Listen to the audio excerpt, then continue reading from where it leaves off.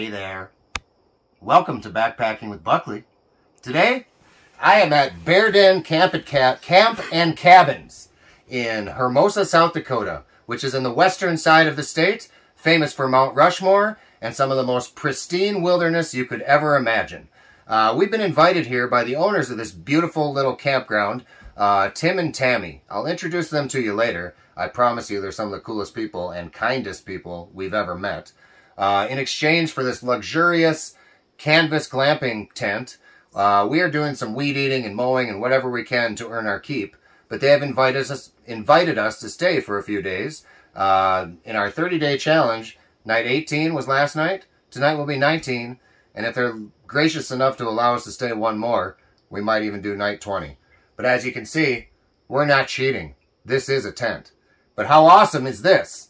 So this entire video is going to be about this Bear Den Cabins and Camp, and we're going to show you around the place and hopefully inspire all of you to get out to western South Dakota and see what this place has to offer.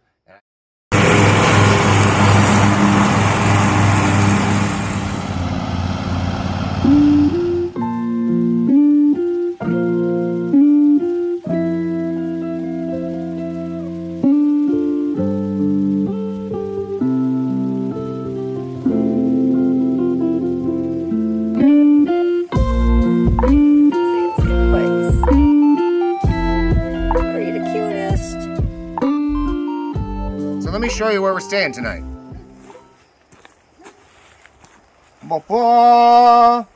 This is a, I believe, probably a semi-permanent canvas tent, and they're absolutely beautiful. Uh, as shown on the entrance of the tent, they're made in Montana by a company called uh, Montana Canvas. And I'm going to show you inside. The luxurious tent life.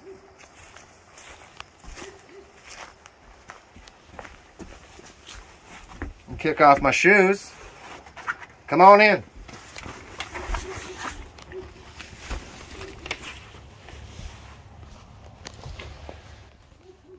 So this is indeed a tent. Can you believe it? Carpeted, full queen size bed, lounging area, lanterns, fans, all the amenities you could ever imagine in a luxury hotel room with the added luxury of being able to kind of sleep outdoors. And we are super pumped to be invited to stay here. So we'll teach you more details and show you around the property real soon.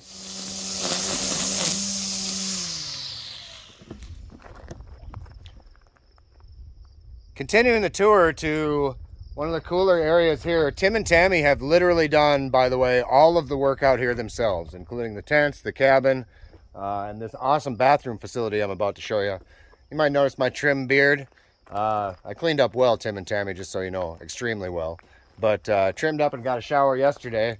Today we've been kind of earning our keep, so I plan on heading back in here tonight for a hot shower as well. Let me get a tour of the bathroom facilities. This is uh, appropriately the men's side for me. Again, all of this was done by them, and it's awesome. Over here, mirrors, vanity, outlets, things like that. We're kind of bumming everything because we're the only guests currently. Um, so a lot of that's our junk. It's a lot cleaner without us here.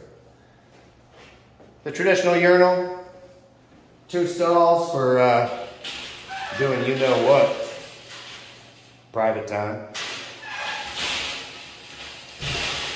And then perhaps the coolest part is there's two of these shower stalls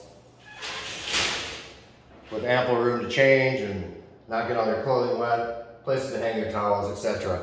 But uh, you can't beat a hot shower. And these are uh, available for all guests to use. And I would assume even when this place is a full house, it's more than enough. I think these are cooler than even what like a state park would offer or anything. So that's the bathrooms.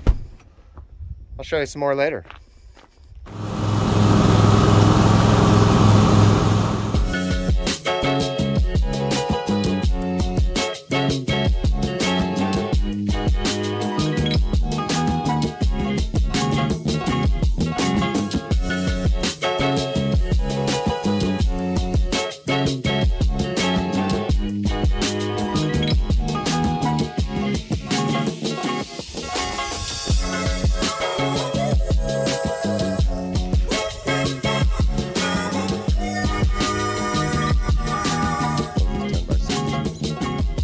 Right, continuing the tour. I'm going to show you the uh, little cabin they have built. They are also building another one, and I think have hopes to build more in the future. But this place is super neat. Um, just a little 10 by 12 cabin, but has more than everything you need. Tim has also devised this little device that I can't now figure out. Sarah, help. That's why you hold that. Yeah, now put There you go. A latch. So in here is a really cool ceiling fan, a loft up there, bed, and uh, just a bunk here. So nothing fancy, but really well done and designed. Little area to sit, and they'll probably have some chairs over in there, but plenty of room to hang out. And this uh, does have electricity. But the whole point of this camp is to have the perfect blend of rustic and modern. So in the tents you won't have electricity, but they do provide like massive battery banks to charge your phones and things like that. So again, really cool little cabin.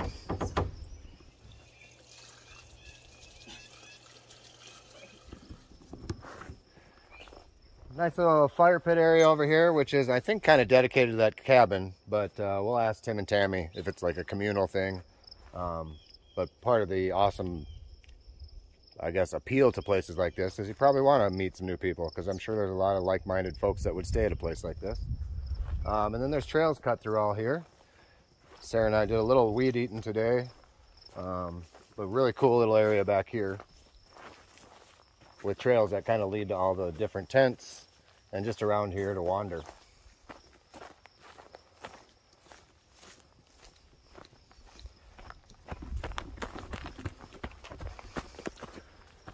So up here, as you can see, the three tents, and uh, they have bean bags and a grill, and another little uh, like picnic area, whatever you want to call it, place to dine. Sarah and I made some uh, chicken drummies today and baked beans, corn on the cob. Birdie Nate. you can be, No, you've seen my channel, you can be completely candid. The day has come, the bittersweet day in which we have to leave Bear Den Cabins and Camp. But finally, we got Tim and Tammy to appear on camera here today uh, in the interest of uh, showing off how awesome people they are and uh, why you should come to Bear Den Cabins and Camp. So I'll let Tammy or Tim take the question. What was the inspiration behind the place? I don't know. We just we love backpacking. We love the people we meet on the backpacking trail, which is where we met Tim.